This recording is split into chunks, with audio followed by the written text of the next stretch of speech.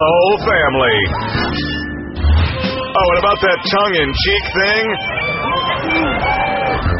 So, for taking life in the sticks to ridiculous extremes, these holy warriors take this week's